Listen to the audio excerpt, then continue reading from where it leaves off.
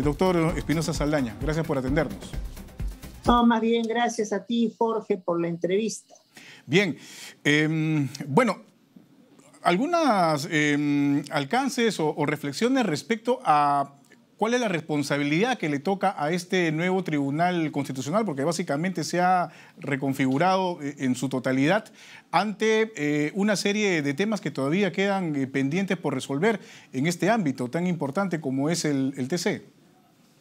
Bueno, algunas de ellas fueron planteadas. Yo no pude ir a la ceremonia porque como es de conocimiento público, eh, tengo una fibrosis pulmonar, entonces yo trabajo y he trabajado en el tribunal los últimos dos años este, a través del Zoom. Entonces yo no voy a ir, yo no podía ir a la ceremonia porque no puedo estar en lugares muy masivos, me contraigo cualquier enfermedad y no me pueden operar, ¿no? Pero pero de lo que escuché, Ferrero planteó algunos temas, pero por encima de los temas yo creo que hay ciertas actitudes que tiene que eh, mantenerse en este Tribunal Constitucional. Jorge, tú, que has sido también un acucioso reportero, recordarás que de hace, hace ocho años, cuando había un problema entre el Congreso y el gobierno, o una, una discusión sobre el monto que tenía que pagarse ante una deuda a la SUNAT o a OEFA, no sabíamos a dónde ir. Mm. Ahora pasan problemas de este tipo, la gente levanta la mano y dice, es inconstitucional y voy al Tribunal Constitucional. O sea, se ha logrado un posicionamiento para poder mediar en términos jurídicos frente a los problemas políticos, sociales, económicos y culturales más importantes en nuestro país. ¿Usted cree que, la manera como... Bien, a sí, doctor. ¿Usted cree... Sí, perdón, continúe. Sí, dale, dale. Continúe usted. A veces resolviendo bien y a veces no pudiendo gustar, pero esa, ese posicionamiento no debe perderse. No debe perderse porque si hay, no existe el Tribunal Constitucional haciendo esta labor mediadora, ¿quién la hace? Cómo se resuelven los conflictos. Podemos terminar una situación de enfrentamiento en el que en quien gane sea el más habilidoso o el más fuerte. y eso no es un Estado constitucional. ¿Usted cree que la manera como se ha llevado el proceso de elección de los nuevos miembros del Tribunal Constitucional desde el Congreso de la República podría mermar precisamente esta, esta figura, esta imagen que a, lo largo de los últimos años ha ido ganando el Tribunal Constitucional, como usted lo ha explicado hace unos instantes, ante casos de, diversa índole, porque se han dado muchas críticas respecto a la manera, en primer lugar, cómo se ha llevado el proceso y en segundo lugar, cómo se, se ejecutó finalmente la votación en la sesión del Pleno, sin debate previo, sin, este, eh, digamos, cuestiones previas, una serie de, condiciones que para muchos eh, delegitima por lo menos el, acto propio de la votación. Bueno, vamos por partes y comenzando por lo último. Sin duda, el Congreso es un espacio de debate y se extrañó que no hubiese precisamente ese debate, como sí lo hubo para la elección de nosotros, en, este, por un acuerdo de Junta de Portavoces. Yo entiendo que la Junta de Portavoces debe llevar el sentir de sus bancadas, pero viendo alguna de las actitudes de, de ciertos congresistas, parece que determinados portavoces no lo llevaron tanto. Eh, siempre es bueno que la gente, cuando va a nombrar a altos funcionarios, como es un magistrado, una magistrada del Tribunal Constitucional, la gente que nos representa, bien o mal, pero nos representa en el Congreso, hayan podido discutir lo suficiente sobre el tema para poder tener una idea clara al respecto. Y después, ya viendo a, más bien a antes de la elección, un periódico sacó una investigación muy prolija que ha estado dando vueltas por varios medios, en las cuales se habrían eliminado sin explicación aparente algunas cosas que afectarían el, la, la trayectoria de alguno de los candidatos y de algunos de los elegidos. Eso sí es muy grave. Eso sí debe, eso debe ser investigado el Ministerio Público que tomar cartas en el asunto. ¿Considera que ha habido falta de transparencia en ese proceso? Eh, mire, yo hasta antes de esta situación no ponía mayor objeción al trabajo sacrificado del congresista Balcás. No es fácil hacer un concurso con esto. Nosotros ya veníamos con el tercer concurso porque los otros dos se cayeron, pero sin duda el que de un currículum se haga, eh, se tache 15 de 21 páginas y entonces no parece la fórmula más adecuada. Ahora, yo no le echo la culpa a nadie en particular. Veo un comportamiento delictivo que no puede quedar, pasar por agua tibia y que deberían hacerse las investigaciones del caso. Lo que acaba de decir es, bastante, bueno, es, grueso en realidad, ¿no? Eh, eh, un comportamiento delictivo por parte de, de quién exactamente, del congresista. Bueno, puede ser, de, puede, ser, puede ser de funcionarios, puede ser de servidores, y ahí el Ministerio Público entra directamente. Ahora, si estuviese en esta situación, lo estoy poniendo en condicional, algún, algún congresista o algún miembro de recientemente instalado Tribunal Constitucional, no es que el Ministerio Público no puede entrar a tallar en el asunto. Lo que pasa es que el Ministerio Público armará su caso y pedirá que se haga una acusación constitucional contra algunos de ellos si es que hay elementos suficientes. Debemos acostumbrarnos a que si estamos siendo transparentes, seamos transparentes hasta el final. Muy bien. Entonces, no puede, no puede ser que. decían que incluso había uno de los candidatos que tenía no sé cuántas multas de, tránsito. O sea, felizmente ese, magistrado no va a tener que manejarlo en el auto tribunal porque el, hay, para cada magistrado hay un chofer, ¿no? Pero ya para tomarlo como risa, pero... En realidad no, es, este, no, no se debería tomar de, eh, como risa, en realidad, porque finalmente son personajes que van a ocupar un puesto importantísimo dentro de, la, justamente a, Justamente a eso, a, eso, a eso voy, a eso voy. Entonces, que, que si alguna persona tiene una debilidad que puede demostrar que no tiene control de situaciones, o que ha incurrido en algún comportamiento indebido, eso debió ser tomado en cuenta para el resultado y si no fue tomado en cuenta, debe explicarse por qué no fue tomado en cuenta. Entonces, este, e, y, y, si, y si no hay explicación y solamente hay 15 eh, páginas tarjadas y un currículum de 21, bueno.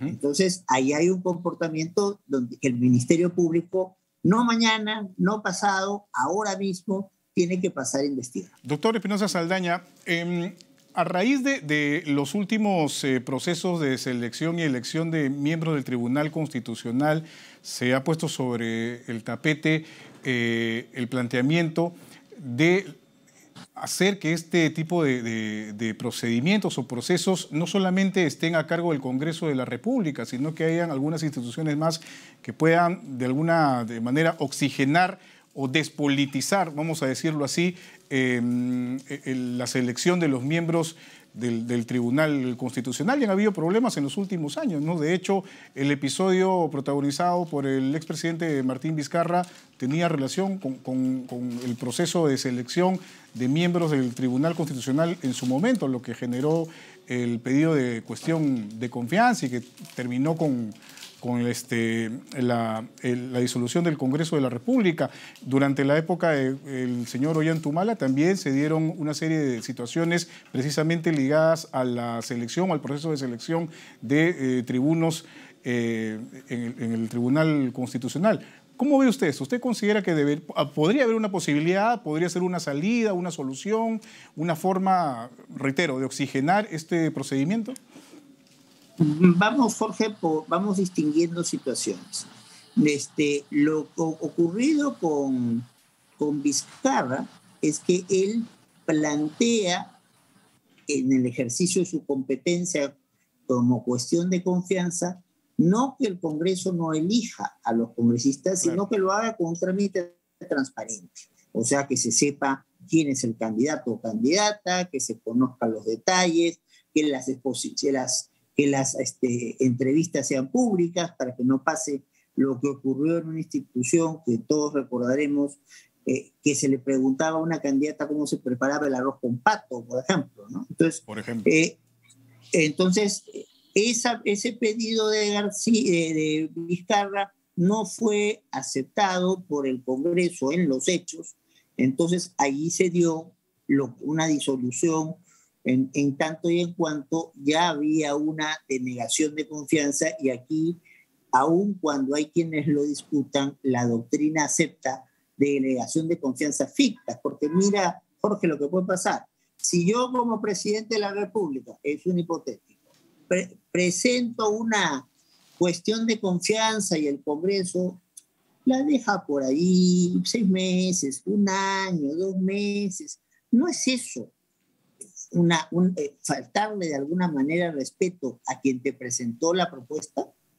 Entonces, este, en, en la mayoría de países siempre se admite o un tiempo razonable para tramitar una propuesta o que no haya situaciones que demuestren que estás en contra.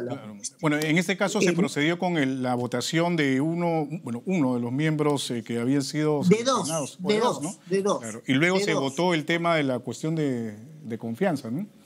Cuando ya se había visto que Vizcarra se había reunido para cuidar cualquier problema dentro del frente interno con las Fuerzas Armadas y había anunciado un discurso a la nación que como se podía haber visto estaba grabado. Entonces ahí fue donde el Congreso corrió para tratar de aprobar la, este, eh, el cambio de procedimiento, pero ya era muy tarde. Doctor Espinosa Saldaña, precisamente acá hemos, hemos hablado de ese episodio, por ejemplo, por, por mencionar uno.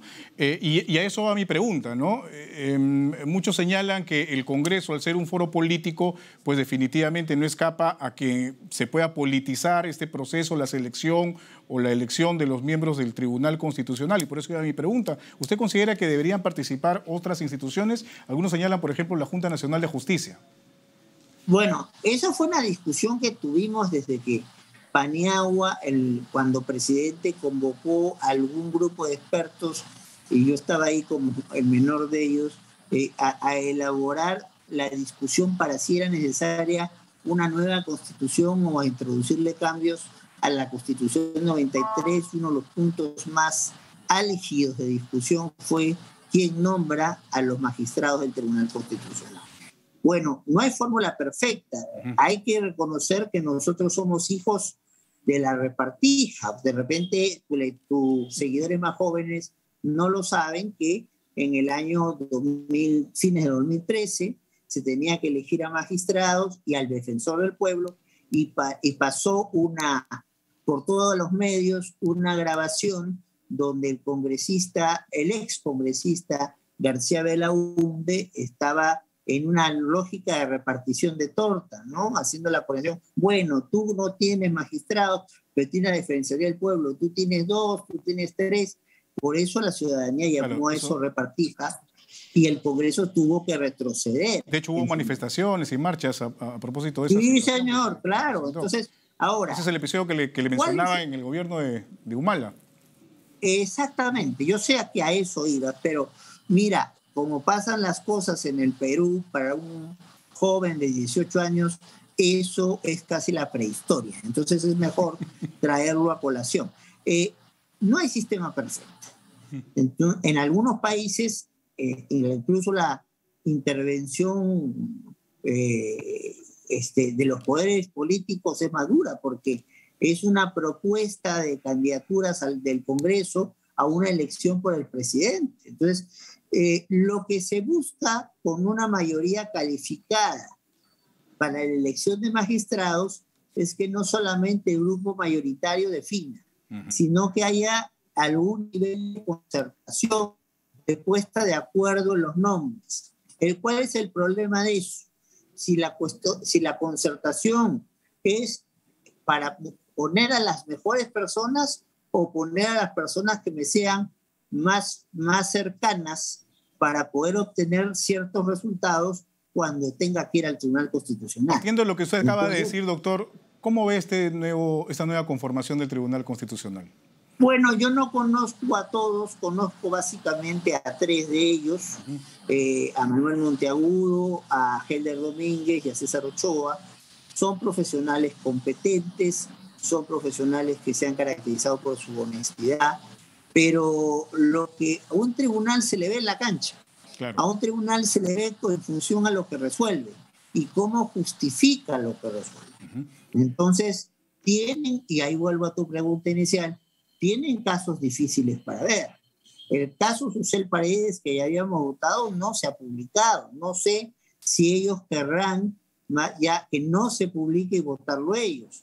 Se ha presentado nuevamente un caso sobre el tema de la píldora el día después y ya está para poder acabar el plazo que tiene el Congreso para presentar el, sus descargos frente a la, a la ley que aprobó este, de alguna manera entrando a regular de una manera, de una forma distinta el referéndum. Entonces, no son casos pequeños. Hay varios temas ahí que están eh, pendientes y que en algunos casos tienen que ver precisamente con igualdad eh, de derechos, como el tema, el primer tema que ha mencionado usted sobre el matrimonio eh, igualitario. Doctor Espinosa Saldaña, nos dan el tiempo solamente una última pregunta. ¿Considera que este, esta conformación, esta nueva conformación del Tribunal Constitucional es más bien conservador o conservadora? Bueno, se está diciendo mucho sobre eso, ¿no? Pero por eso te digo, hay que verlos si ellos, eh, cómo responden frente a situaciones concretas. Si ya, si ya, eh, eh, la, ya la, la Corte Interamericana en diferentes opiniones ha planteado que se tiene que respetar e incluso regular el ejercicio del matrimonio igualitario, entonces, y eso está, es considerado una cuestión que obliga al Estado peruano, entonces ellos deberían resolver siguiendo el parámetro convencional. Muy bien. Y si no lo hacen, tendrían que explicarlo. Entonces, ahí es donde vemos si las chapas que se le pone a cada persona son las reales o entonces tenemos otros criterios distintos que abordar.